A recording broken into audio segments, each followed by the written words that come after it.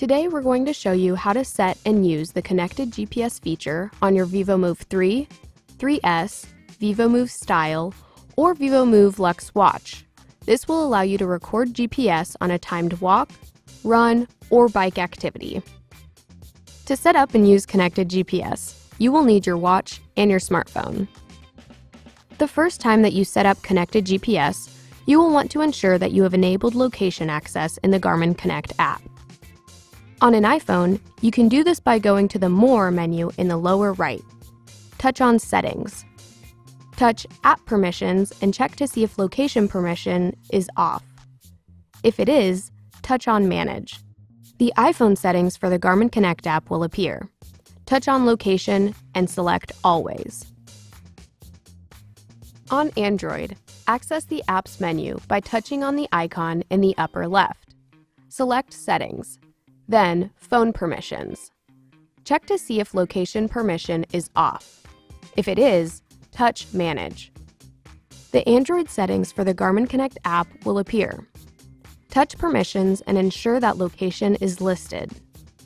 If not, touch it and toggle on location permissions. Each time you use the connected GPS feature, remember the following. Bluetooth must be turned on for both the phone and watch. Your phone's GPS should be on. You should be outside with a clear view of the sky.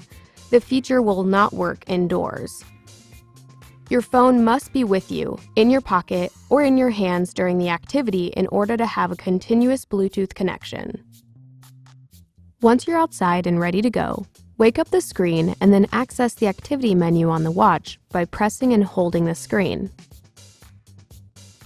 Touch Activities. Select either walk, run, or bike as your timed activity a screen will pop up asking you if you want to use your phone's GPS. Tap the check icon. Then your watch and phone will begin to communicate. After a few moments, you will see a connected message on your watch.